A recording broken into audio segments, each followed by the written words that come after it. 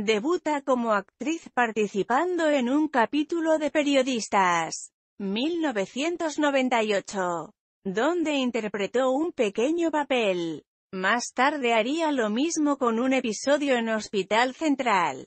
2000, pero la popularidad le llegó a raíz de convertirse en una de las protagonistas de Compañeros en sustitución del personaje de Duna Jove. En Compañeros, emitida en Antena 3 interpretaba a Tania, joven bosnia que llegaba al colegio Azcona, huyendo de los conflictos bélicos de su país y emprendía un proceso de adaptación llegando a integrarse totalmente como una más del grupo. Encabezado por Kimi, Antonio Hortelano, y Valle, Eva Santolaria. En esa época participó también en algunos cortos como Lencería de Ocasión. 1999. De Teresa Marcos. También formó parte del elenco de la adaptación cinematográfica de Compañeros, la película No te fallaré, donde de nuevo daba vida a Tania.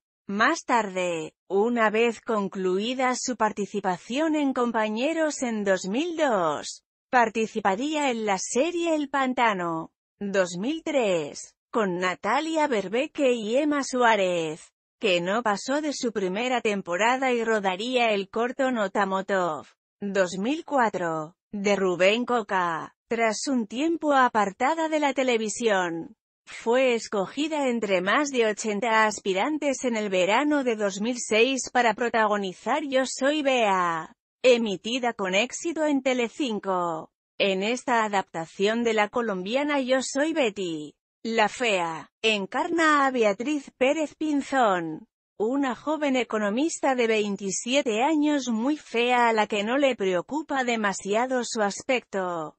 Inteligente y bondadosa, decide buscar trabajo tras dos años de entrega al cuidado de su padre viudo. Aunque está muy bien preparada, solo consigue un puesto como secretaria de Álvaro Aguilar, director de la revista Boulevard 21. Una vez en la empresa, Bea tendrá que lidiar con Cayetana, la prometida de don Álvaro y con su amiga Bárbara. Finalmente Bea llegó a ser directora adjunta de Boulevard 21.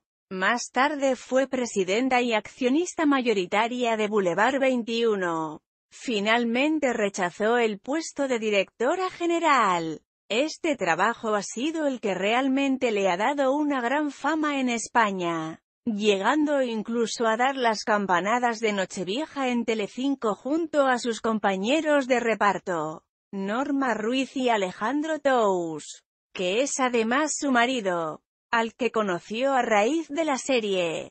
De enero a junio del 2009 Hectáreas protagonizado con Alejandro Tous la obra de teatro Romeo y Julieta. También ha protagonizado monólogos de la vagina de Evans Lear, 2010 sobre 11.